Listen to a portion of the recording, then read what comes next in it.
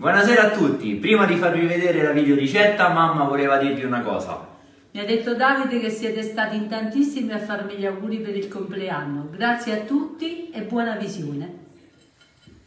Buonasera a tutti, questa sera faremo una ricetta davvero davvero gustosa, è molto semplice, occorreranno solamente cipolla, zucchine, tonno, dei tagliolini e un po' di farina.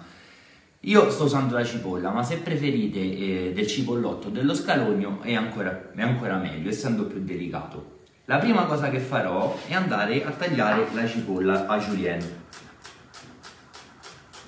Non la userò tutta perché questa è una dose per una persona. Mettiamola in padella e aggiungiamo un filo d'olio.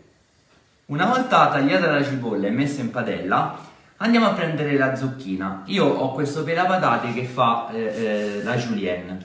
Andate a ricavare tutta la parte verde. Queste zucchine nel frattempo le metteremo nella farina. Una volta preparate le basi, quindi cipolle e zucchine, andiamo a tagliare il nostro tonno.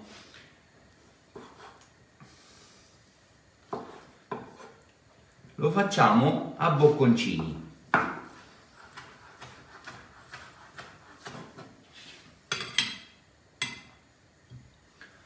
Preparate tutte le nostre basi, possiamo andare in cottura. Iniziamo facendo imbiondire la nostra cipolla. Qui ho messo un padellino con un po' di olio di semi che ci servirà per rendere le nostre zucchine croccanti. Ora andiamo ad aggiungere una parte di tonno.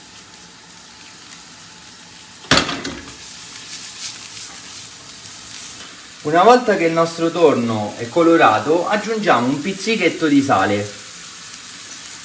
Qui sarebbe la morte sua un po' di fumetto di pesce, ma ora non l'ho, quindi aggiungerò un goccio d'acqua calda. Un pizzico di pepe nero e andiamo a friggere nel frattempo le nostre zucchine.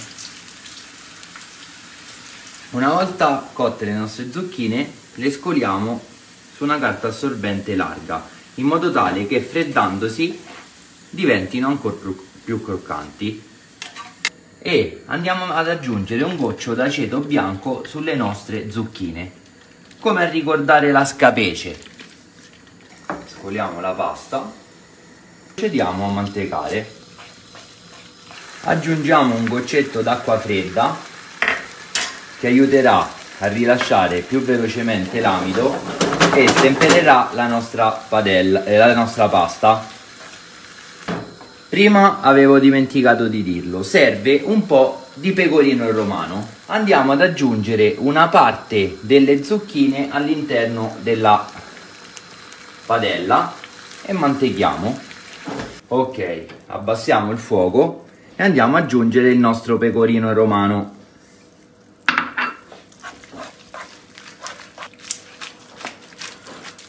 Ok ci siamo.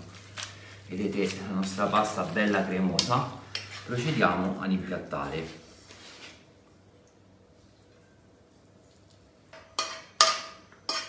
Facciamo scendere la nostra cremina.